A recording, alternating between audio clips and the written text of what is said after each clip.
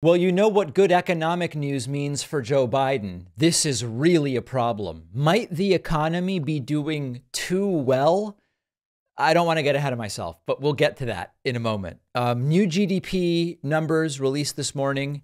United States GDP, third quarter, grew at a 4.9% annual pace, better than expected, the fastest growth rate in nearly two years. Gross, this is CNBC.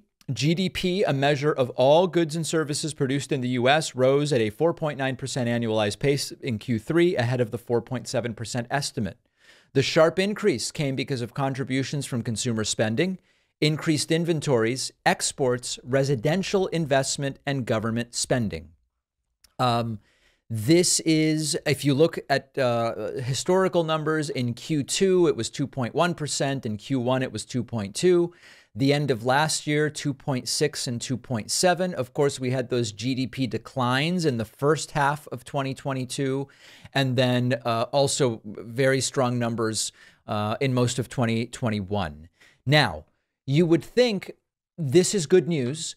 Are there ways in which GDP growth can be, quote, bad? Well, it depends on what you mean by bad. We're going to do a deep dive on this in a moment. But you have to see the video from Fox News and uh, Maria Bartiromo this morning, bringing in anyone she can to try to explain why this is all bad.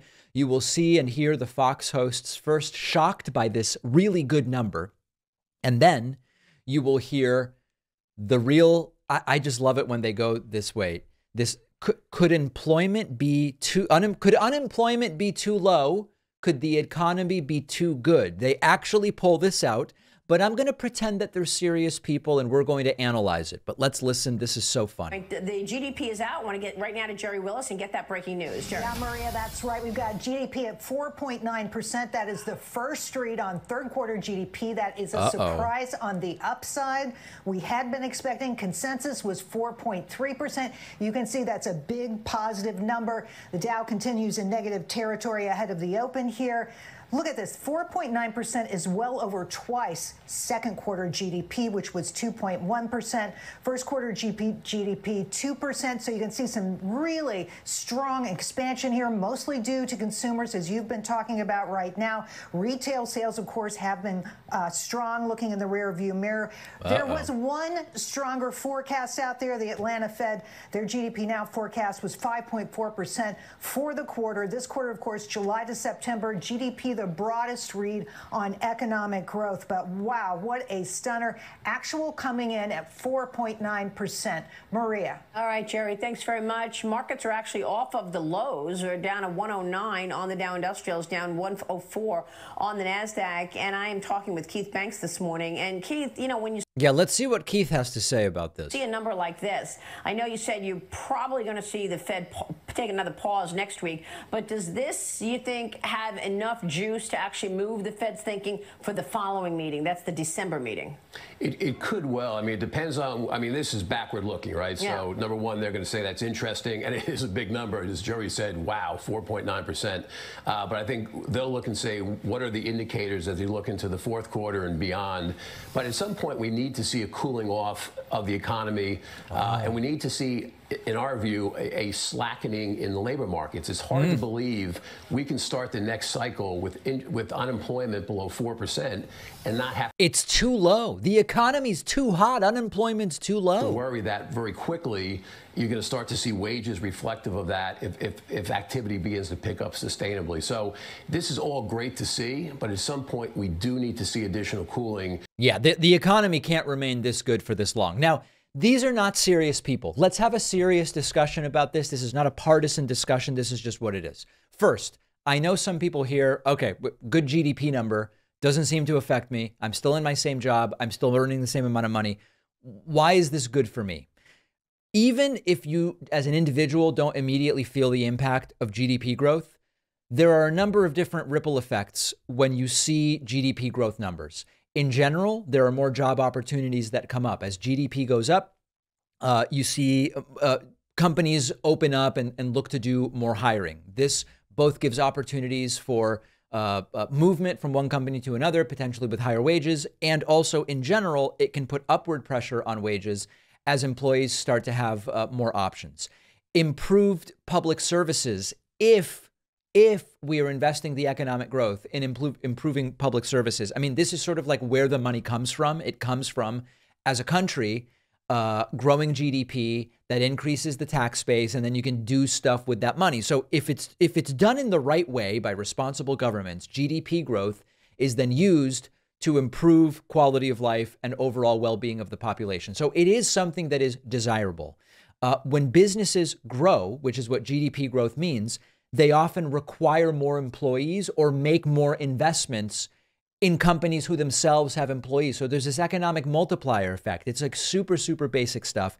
And then you've got the tax collection part. You increase the tax base when GDP is up. Now, what about the ways that this could, and, and by the way, GDP growth tends to reduce poverty levels. And there's all these sort of obvious benefits to why, uh, when we look at an economy using the standard approach, a growth approach, which is, you know, there are limits to that approach, which I concede and I've talked about, but that's why we would consider it to be good and why it's good for there to be low unemployment because it means there are fewer people that are out there unable to participate meaningfully in life and the economy because they don't have a job, etc. Now, is it possible that too much growth too quickly and unemployment being too, quote too low for too long can there be negative aspects to it?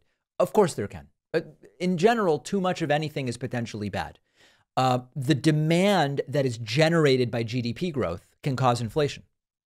And then the inflation can get out of control and go beyond the wage growth and gdp growth. It can cause an inflationary spiral to have sustained periods of high gdp growth um, you can get a situation where you get an asset bubble, like in stocks or in real estate, and then bubbles can pop.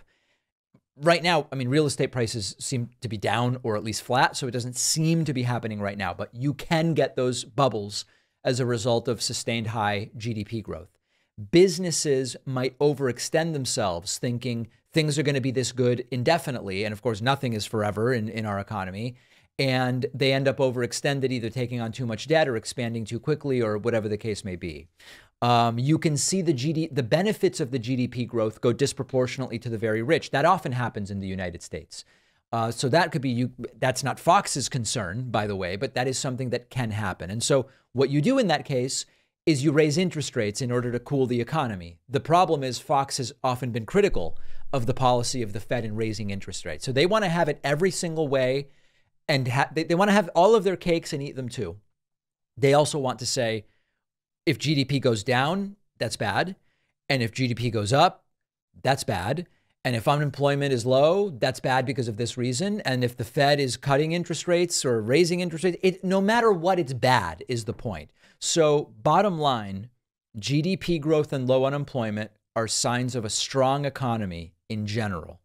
If it gets to an overheated situation, they can generate future instability, which, by the way, is an inherent part of the type of economy that we have. Fox is not going to be the place to seriously analyze this stuff, as they prove once again. They just want to do partisan attacks on Joe Biden no matter what. If Biden's the president, then the numbers must be bad, at least in some way. If you're familiar with me and my show, you know that I don't promote crazy supplements, drinkable silver, wacky stuff that right wing shows do. I don't offer miracle cures or anything like that. I promote products that are backed by science and that make sense at the end of the day. That's what our sponsor AG1 is. It's really simple. Instead of taking dozens of different vitamins, potentially spending hundreds of dollars on them, what I do is before my morning cappuccino, I have a scoop of AG1 in water. Simple. I get the entire day's worth of vitamins, minerals, prebiotics, probiotics. It's in a form that you can absorb and utilize. It tastes good. You can put it in a drink, you can put it in a shake, whatever works for you. Unlike routines that involve all sorts of pills and gummies and the inconvenience and the difficulty of maintaining it, AG1 is just foundational nutrition made easy and affordable. I've even gotten some friends and family hooked on AG1 because it's just simple. It's simple and more cost effective. Go to drinkag1.com slash Pakman. You'll get five free travel packs of AG1 and a year's supply of vitamin D for free The link is down below.